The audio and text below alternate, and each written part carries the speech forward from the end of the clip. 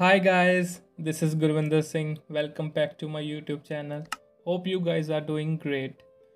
Today's cue card is describe a family member with whom you would like to work in the future. आपने अपने किसी family member के बारे में बताना जिसके साथ आप फ्यूचर में काम करना पसंद करेंगे and sub cues are who the person is वो पर्सन कौन है जिसके साथ आप काम करना चाहते हो have you ever worked with the person before क्या आपने इससे पहले कभी उस इंसान के साथ काम किया है?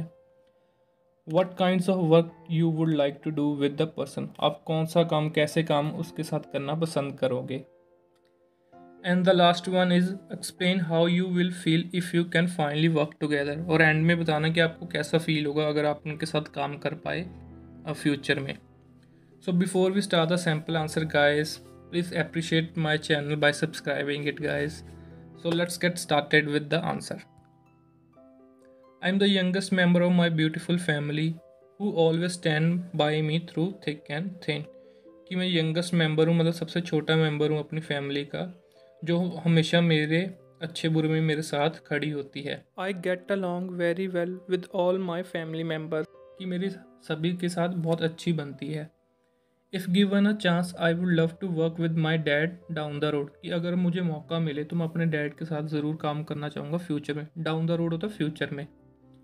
He is an eminent real estate businessman who started from scratch and gain currency because of his hard work and business skills eminent का मीन्स होता है कि फ़ेमस वेल नो जो मशहूर होता है इंसान।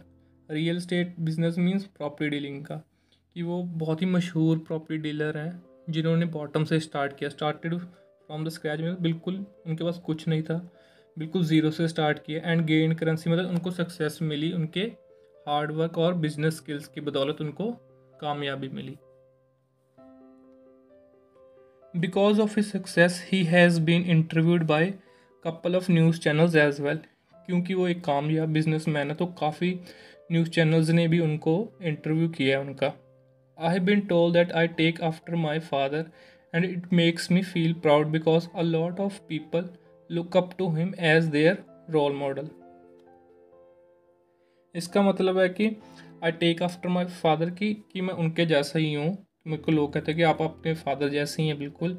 और मुझे इस चीज़ पे गर्व होता है क्योंकि बहुत सारे लोगों के मेरे फादर जो है unfortunately I haven't had the pleasure to work alongside with him कि अभी तक अफसोसजनक मुझे उनके साथ काम करने का मौका नहीं मिला।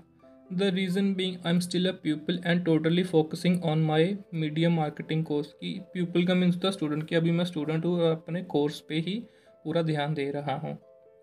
In the near future I would be working closely with him as a marketing media advisor कि नियर फ्यूचर में मतलब आने वाले कल में फ्यूचर में मैं उनके साथ काम कर रहा हूँ as a marketing media advisor with all my marketing knowledge strategies and his business understanding and experience we could be assets for the company कि जो मेरी मार्केटिंग नॉलेज है स्ट्रेटजीज है, और मेरे फादर की जो बिज़नेस अंडरस्टैंडिंग और एक्सपीरियंस है, हमारी टीम के एसेट हो सकती है हमारी कंपनी के लिए। एसेट्स मीन्स बेनिफिशियल या एडवांटेजेस हो सकती है हमारी team this would help us to generate more revenue ये हमें हेल्प करेगी और ज़्यादा पैसे कमाने में रेवेन्यू जनरेट करने में।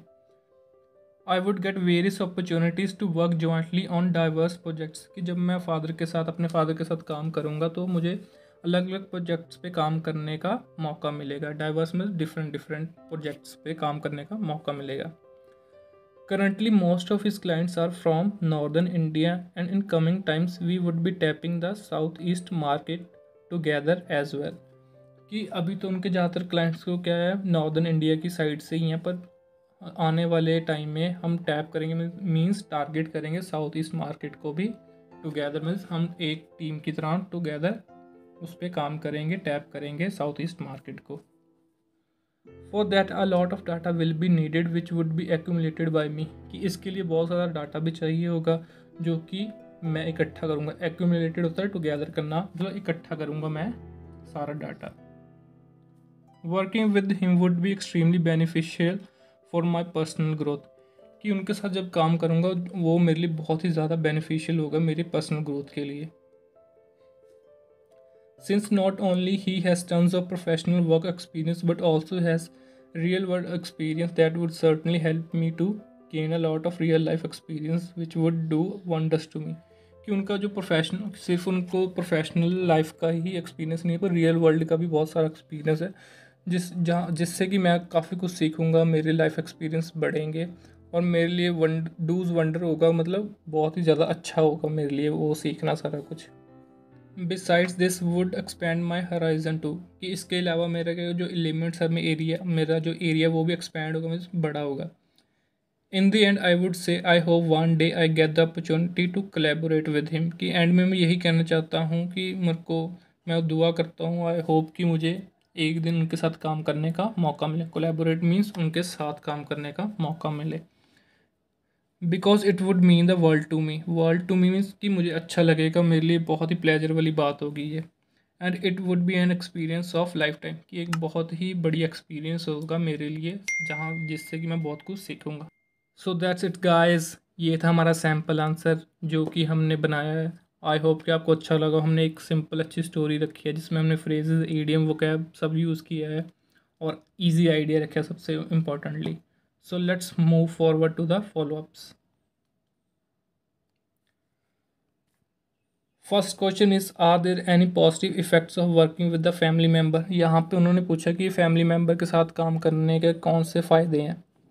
Certainly they are number of benefits when we collaborate with the family member और team up with the family member हम कह रहे हैं कि यहाँ पे हमने बताया कि बहुत सारे फ़ायदे हैं जब हम फैमिली मेंबर के साथ कोलेबोरेट करते हैं, जब उनके साथ टीम बनाते हैं। तो आपने बार बार ये नहीं यूज़ करना कि वर्किंग विद हिम उसकी जगह हम कोलेबोरेट यूज़ करते हैं जॉइंटली कर सकते हैं टीम अप भी यूज़ कर सकते हैं, कि जब हम उनके साथ काम करते हैं तो हमें बहुत सारे अलग अलग फ़ायदे होते हैं।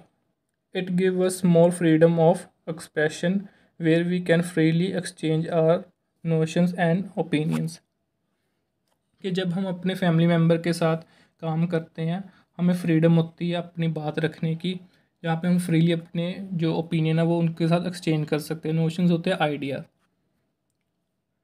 additionally family members help us to get the most out of us which leads to success and productivity कि जो फैमिली मेंबर्स होते हैं, हमें हेल्प करते हैं, हमारा जो बेस्ट होता है, हमसे, हमारे अंदर से बाहर निकालता है हमारा बेस्ट और इसको क्या, ये किस चीज़ को लीड करता है? एक कामयाबी को लीड करता है।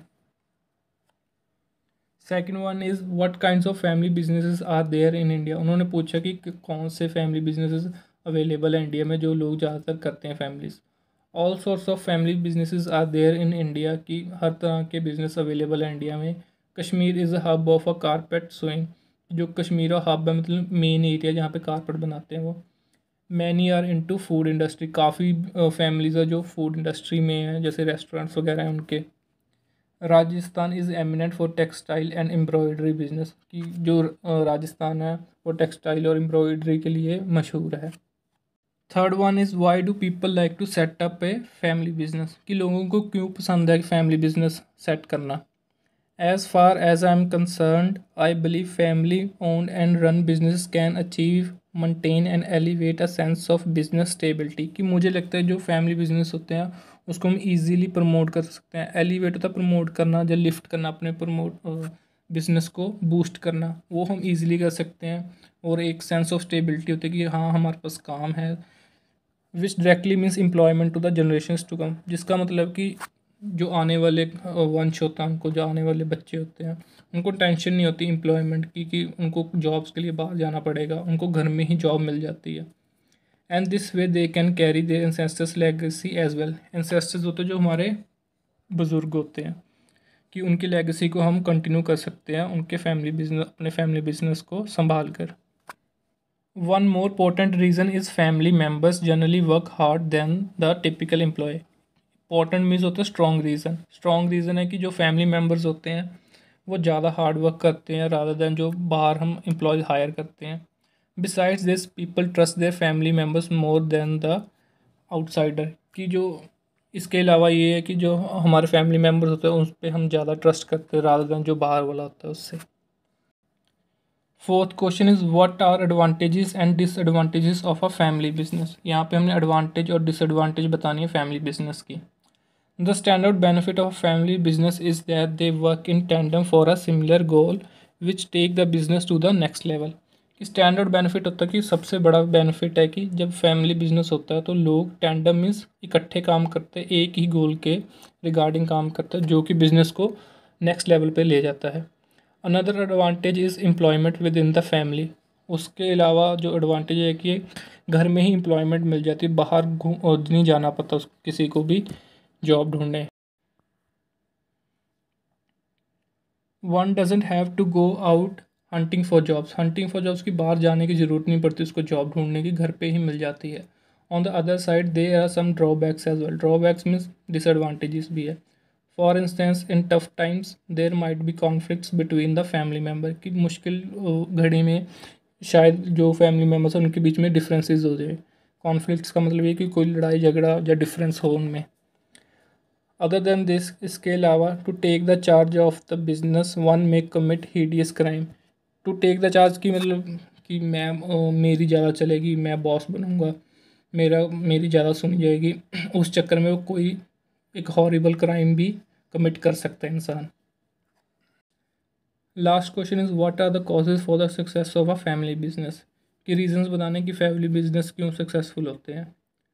And the answer is to acknowledge the efforts of each other is the key factor acknowledge होता है कि अप्रिशिएट करते हैं जब एक दूसरे की एफर्ट्स को। वो की फैक्टर मतलब इंपॉर्टेंट चीज़ है वो। When it comes to the success of a hereditary business जब बात आती है बिज़नेस पे। हैरिट मीन्स जो फैमिली बिज़नेस होता है, जो जनरेशन टू जनरेशन चल रहा होता है।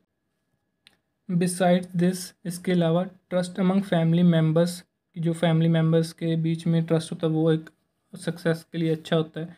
And relentless hard work leads to success relentless का मतलब होता है लगातार। हार्ड वर्क जो करते हैं, वो लीड करता है कामयाबी को। सो दैट्स इट गाइस हमने फॉलोअप्स भी कर लिए सैंपल आंसर भी कर लिया।